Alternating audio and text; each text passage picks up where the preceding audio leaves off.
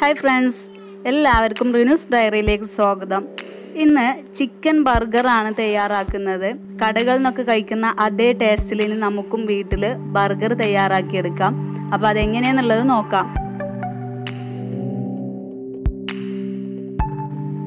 അപ്പോൾ ആദ്യം തന്നെ ബർഗറിലേക്ക് ആവശ്യമായിട്ടുള്ള ചിക്കൻ പാർട്ടീസ് തയ്യാറാക്കി എടുക്കണം അപ്പോൾ അതിലേക്ക് വേണ്ടിയിട്ട് മൂന്ന് ബ്രെഡ് ഒരു കാൽ ഗ്ലാസ് പാലൊഴിച്ചിട്ടൊന്ന് കുതിരാൻ വെക്കാം. ഇനി ഇതിലേക്ക് എല്ലില്ലാത്ത മുന്നൂറ് ഗ്രാം ചിക്കൻ എടുത്തിട്ടുണ്ട്. അപ്പോൾ അത് ചെറിയ കഷ്ണങ്ങളാക്കി കട്ട് ചെയ്ത് നല്ല ക്ലീൻ ചെയ്തെടുത്തിട്ടുണ്ട്.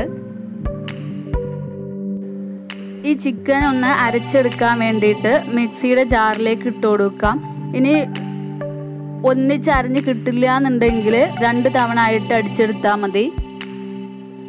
എന്നിട്ട് ഇതിലേക്ക് ഒരു അഞ്ചല്ലി വെളുത്തുള്ളി ചേർത്ത് കൊടുക്കാം. ചെറിയതായതുകൊണ്ടാണ് കേട്ടോ കൂടുതൽ എടുത്തിട്ടുള്ളത്. രണ്ട് പച്ചമുളക് ഒരു ടീസ്പൂൺ മുളക് പൊടി മുക്കാൽ ടീസ്പൂൺ കുരുമുളക് പൊടി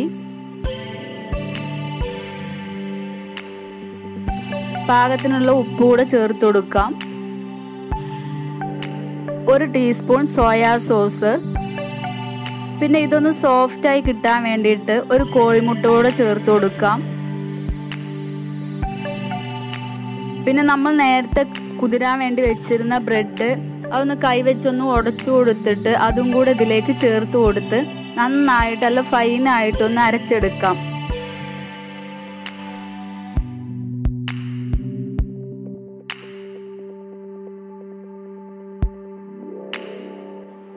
അപ്പോൾ ഇതത് നല്ല ഫൈനായിട്ട് അരച്ചെടുത്തിട്ടുണ്ട്. ഇനി ഇതൊരു മണിക്കൂർ റെസ്റ്റ് ചെയ്യാൻ വെക്കാം.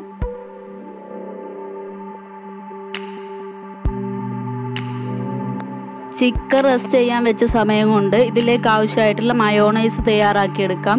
അപ്പോൾ അതിന് വേണ്ടിയിട്ട് മൂന്ന് കോഴിമുട്ട മിക്സിയുടെ ജാറിലേക്ക് പൊട്ടിച്ചൊഴിച്ചിട്ടുണ്ട്. ഇതിലേക്ക് രണ്ടല്ലി വെളുത്തുള്ളി കാൽ ടീസ്പൂൺ പഞ്ചസാര പാകത്തിനുള്ള ഉപ്പ് ഒരു ടീസ്പൂൺ വിനിഗർ കൂടെ ചേർത്ത് മിക്സിയിൽ വെച്ച് ഒന്ന് പൾസ് ചെയ്തെടുക്കാം.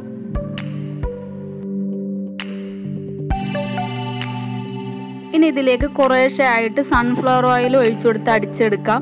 മുഴുവനായിട്ട് ഒന്നിച്ച് ഒഴിച്ചുകൊടുത്ത് അടിച്ചെടുക്കേണ്ട കുറേശ്ശെ കുറേശ്ശെ ആയിട്ട് ഒഴിച്ചുകൊടുത്ത് അടിച്ചെടുക്കാം. മൊത്തത്തിൽ മുക്കാൽ ഗ്ലാസ് സൺഫ്ലവർ ഓയിലാണ് ഇത് അടിച്ചെടുക്കാൻ വേണ്ടിയിട്ട് ഒഴിച്ചു കൊടുത്തിരുന്നത് അപ്പോൾ ഇതാ കറക്റ്റായിട്ട് കിട്ടിയിട്ടുണ്ട്. ഇനി ഇതിലേക്ക് ഒരു ചെറിയ പച്ചമുളക് കൂടെ ഇട്ട് കൊടുത്തൊന്ന് അടിച്ചെടുക്കാം. പച്ചമുളക് ഇട്ട് കൊടുക്കുമ്പോൾ കഷ്ണം മുറിച്ചിട്ട് ഇട്ട് കൊടുത്താൽ മതി. അല്ലെങ്കിൽ അടിഞ്ഞ് കിട്ടാൻ ബുദ്ധിമുട്ടാണ്. പച്ചമുളക് ഒക്കെ ഇട്ട് നന്നായിട്ട് മയോണൈസ് അടിച്ചെടുത്തിട്ടുണ്ട്. ഇനി ഇതൊരു പാത്രത്തിലേക്ക് മാറ്റാം. എന്നിട്ട് ഇതിലേക്ക് ഒരു ടേബിൾ സ്പൂൺ ടൊമാറ്റോ കെച്ചപ്പ് ചേർത്ത് കൊടുക്കാം. അതുപോലെ തന്നെ ഒരു ടേബിൾ സ്പൂൺ ചില്ലി സോസ് കൂടെ ചേർത്ത് കൊടുക്കാം. എന്നിട്ട് ഇത് നന്നായിട്ട് മിക്സ് ചെയ്തെടുക്കാം.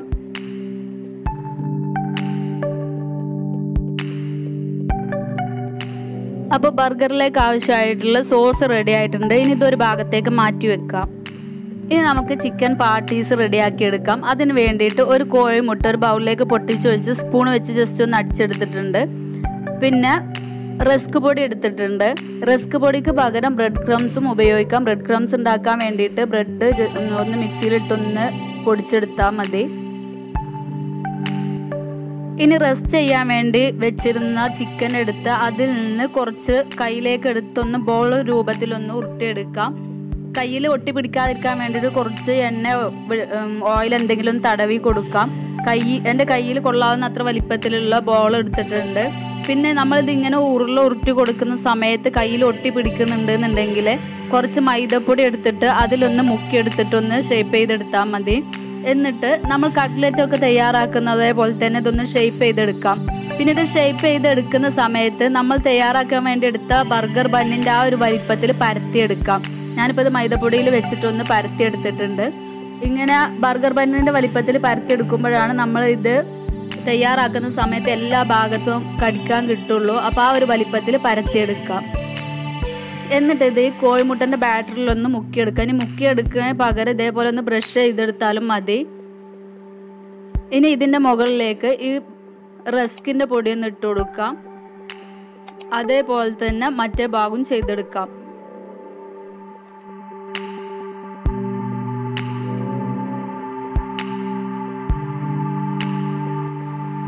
പാർട്ടീസ് ഉണ്ടാക്കുമ്പോൾ അത്യാവശ്യം കട്ടിക്ക് തന്നെയാണ് കേട്ടോ ഉണ്ടാക്കിയിട്ടുള്ളത്. ഇനി നിങ്ങൾക്ക് നല്ല തിന്നായിട്ട് പരത്തണം എന്നുണ്ടെങ്കിൽ അങ്ങനെ ചെയ്തെടുക്കാം.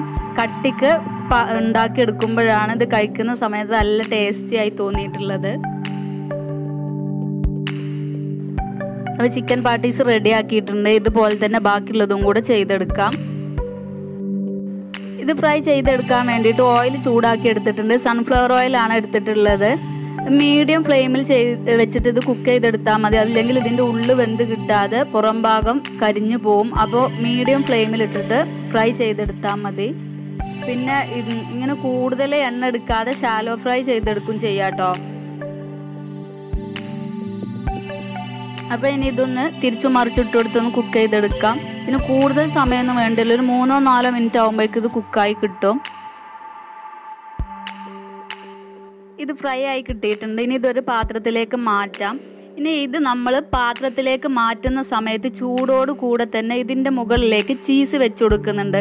നമ്മൾ ഇത് ഓവനിലൊന്നും വെച്ച് ചൂടാക്കുന്നില്ലല്ലോ. അപ്പോൾ ആ ഒരു ചീസ് മെൽറ്റായി കിട്ടാൻ വേണ്ടിയിട്ട് ചൂടോട് കൂടെ തന്നെ ഇതിന്റെ മുകളിലേക്ക് വെച്ച് കൊടുക്കാം. ചെഡാർ ചീസിന്റെ ഒരു ഷീറ്റാണ് വെച്ച് കൊടുത്തിട്ടുള്ളത്.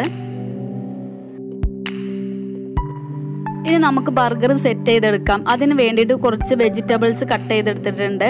ഒരു കക്കരി നന്നായിട്ട് കനം കുറച്ച് കട്ട് ചെയ്തിട്ടുണ്ട്. പിന്നെ എടുത്തിട്ടുള്ളത് ക്യാപ്സിക്കാണ് തക്കാളി എടുത്തിട്ടുണ്ട്. ലെച്ചൂസിന്റെ ഇല എടുത്തിട്ടുണ്ട്. നമുക്ക് ഇഷ്ടമുള്ള വെജിറ്റബിൾസ് എടുക്കാം. ക്യാരറ്റ് എടുക്കാം. സവാള എടുക്കാം. ഇഷ്ടമുള്ള ടൈപ്പ് വെജിറ്റബിൾസ് ഒക്കെ എടുക്കാം. പിന്നെ അത് സെറ്റ് ചെയ്തെടുക്കാൻ വേണ്ടിയിട്ട് ചീസ് വെച്ചിട്ടുള്ള ചിക്കൻ പാർട്ടീസ് എടുത്തിട്ടുണ്ട്. ഇങ്ങനെ ചീസ് വെച്ചിട്ട് തയ്യാറാക്കുമ്പോഴാട്ടോ ഒന്നുകൂടെ ടേസ്റ്റായി തോന്നിയിട്ടുള്ളത്. പിന്നെ ബർഗർ ബൻ എടുത്തിട്ടുണ്ട്. ബർഗർ ബൻ ഇപ്പോൾ എല്ലാ സൂപ്പർ മാർക്കറ്റിലും ബേക്കറികളിലൊക്കെ കിട്ടും. ഏത് ടൈപ്പ് ബന്നും എടുക്കാം. പിന്നെ ബന്ന് എടുക്കുമ്പോൾ മധുരമില്ലാത്ത ടൈപ്പ് ബന്ന് എടുക്കണം കേട്ടോ. പിന്നെ നമ്മൾ തയ്യാറാക്കിയിട്ടുള്ള സോസ് എടുത്തിട്ടുണ്ട്. ഈ സോസിൽ നിന്ന് ഒരു ടീസ്പൂൺ എടുത്ത് നമ്മൾ ഇങ്ങനെ കട്ട് ചെയ്ത് വെച്ചിട്ടുള്ള ഈ ബർഗർ ബന്നിന് മുകളിലേക്ക് എടുത്ത് വെച്ചിട്ട് ആക്കിയിട്ട് എല്ലാ ഭാഗത്തുനിന്ന് സ്പ്രെഡ് ചെയ്ത് കൊടുക്കാം.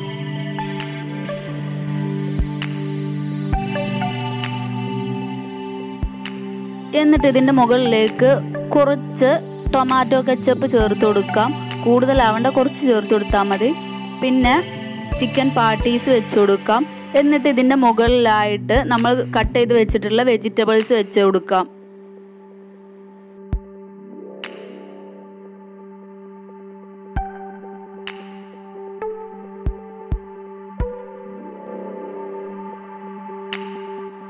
വെജിറ്റബിൾസ് വെച്ച് കൊടുത്തു കഴിഞ്ഞിട്ടുണ്ടെങ്കിൽ നമ്മൾ എടുത്തു വെച്ചിട്ടുള്ള ബന്നിന്റെ മറ്റു പീസും കൂടെ എടുത്തിട്ട് അതിന്റെ മുകളിലും സോസ് വെച്ച് കൊടുക്കാം. എന്നിട്ട് ഈ ബന്ന് ഇതിന്റെ മുകളിൽ വെച്ച് കൊടുക്കാം.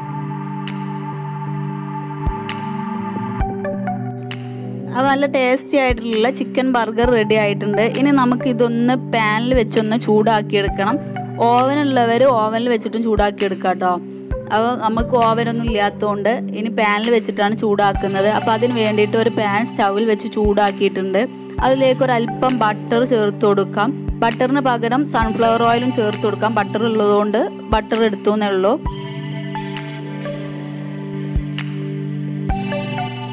പാൻ ചൂടായിട്ടുണ്ടെങ്കിൽ പിന്നെ ലോ ഫ്ലെയിമിൽ ഇട്ടിട്ടാണ് ചൂടാക്കി എടുക്കേണ്ടത്. ഇതിലേക്ക് ഇനി ബന്ന് വെച്ച് കൊടുത്ത് അതിന്റെ മുകളിലേക്ക് കുറച്ച് ബട്ടർ ഒന്ന് ഗ്രേസ് ചെയ്ത് കൊടുക്കാം. ആ ഒരു ഭംഗിക്ക് വേണ്ടിയിട്ട് മാത്രമാണ് കേട്ടോ അതിന്റെ മുകളിൽ ഒന്ന് ഗ്രേസ് ചെയ്ത് കൊടുക്കുന്നത്. എന്നിട്ട് ഒരു പാത്രം എടുത്തിട്ട് ഒന്ന് പ്രസ് ചെയ്ത് കൊടുക്കാം. പ്രസ് ചെയ്ത് കൊടുത്തിട്ടുണ്ടെങ്കിൽ അപ്പം തന്നെ മറിച്ചിട്ട് മറ്റേ ഭാഗം കൂടെ ചൂടാക്കി എടുക്കാം. കുറേ സമയം വെച്ച് ചൂടാക്കൊന്നും വേണ്ട കേട്ടോ. രണ്ട് ഭാഗം ജസ്റ്റ് ഒന്ന് ചൂടാക്കി എടുത്താൽ മതി.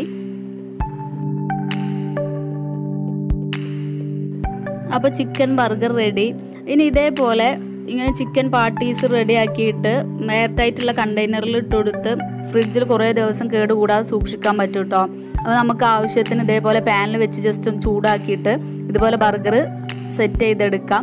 അപ്പോൾ നല്ല ടേസ്റ്റി ആയിട്ടുള്ള ബർഗർ ചിക്കൻ ബർഗർ നമുക്ക് എല്ലാവർക്കും വീട്ടിൽ തന്നെ തയ്യാറാക്കി എടുക്കാം. ഇനി ഇതുപോലെ വല്ലപ്പോഴൊക്കെ നിങ്ങളൊന്ന് ട്രൈ ചെയ്ത് നോക്കാം. എപ്പോഴൊന്നും ഉണ്ടാക്കി നോക്കണ്ട കേട്ടോ. വല്ലപ്പോഴൊക്കെ ഉണ്ടാക്കിയാൽ മതി. അത്ര ഹെൽത്തി ആയിട്ടുള്ള സംഭവമല്ല. അപ്പോൾ നിങ്ങൾക്ക് എല്ലാവർക്കും ഇഷ്ടപ്പെട്ടിട്ടുണ്ടാകുമെന്ന് വിചാരിക്കുന്നു. ഇഷ്ടപ്പെട്ടാൽ ലൈക്ക് ചെയ്യാനും ഷെയർ ചെയ്യാനും മറക്കരുത്. അതുപോലെ തന്നെ നിങ്ങളുടെ അഭിപ്രായങ്ങൾ കമന്റ് ചെയ്യുക.